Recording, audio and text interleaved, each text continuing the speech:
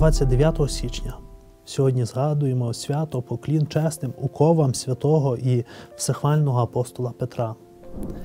Коли апостол Петро сидів у в'язниці, скований двома ланцюгами, стрели його чотири сторожі, по чотири вояки кожна.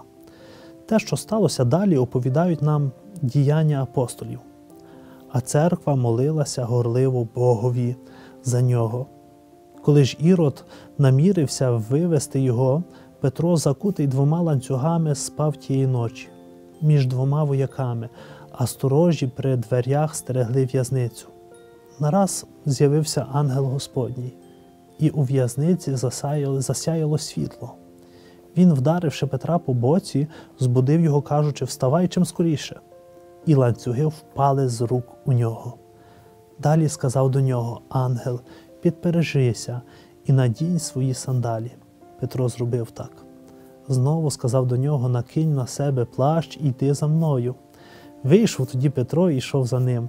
Не знав він, чи це правда, що робив ангел. Він думав, що видіння бачить. Минули вони першу варту і другу і прийшли до залізної брами, що веде в місто. Вона сама собою їм відчинилась. Вийшли вони та пройшли одну вулицю, і ангел нараз відступив від нього. Тоді Петро, опритомнівши, мовив: Тепер я справді знаю, що Господь послав ангела свого і вирвав мене з рук Ірода і від усього, чого очікував юдейський народ. Дорогі в Христі, в Бога немає нічого неможливого.